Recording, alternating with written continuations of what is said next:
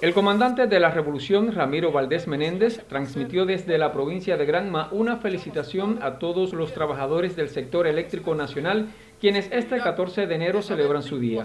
Como parte de la segunda jornada de la visita gubernamental que se realiza a este territorio del oriente cubano y a propósito de la fecha, Valdés Menéndez dejó inaugurado la sede de las unidades empresariales de base, Centro Integral de Atención al Cliente y Despacho Provincial de Carga, ubicado en la ciudad de Bayamo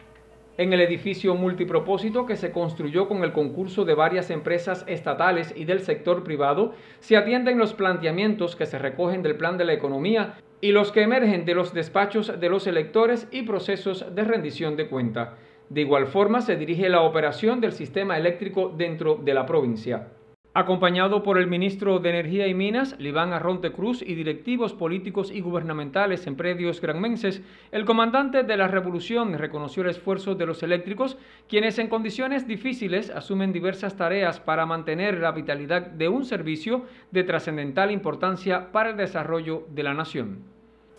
Durante su recorrido por la instalación, Ramiro Valdés compartió además con los integrantes del Círculo de Interés Pequeños Linieros de la Escuela Primaria Antonio Briones Montoto de la capital provincial. Asimismo, se interesó por el funcionamiento del Centro de Atención Telefónica, donde se procesan alrededor de unos 500 trámites diarios relacionados con quejas, solicitudes y demandas del pueblo, quien recibe mediante la gestión de estas operadoras la solución final a las diligencias.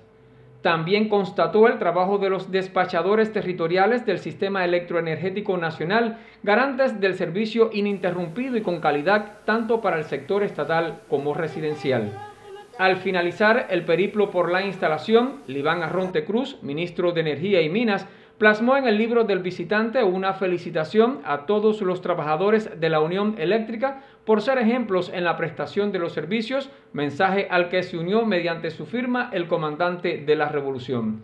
Antes de la despedida, Ramiro Valdés intercambió con los trabajadores de la empresa de alojamiento y recreación y vecinos del lugar, quienes ratificaron el compromiso de continuar defendiendo la obra del proyecto social socialista. Desde Granma, Jorge Luis Ríos, Sistema Informativo de la Televisión Cubana. Desde Granma, Jorge Luis Ríos, Canal Caribe.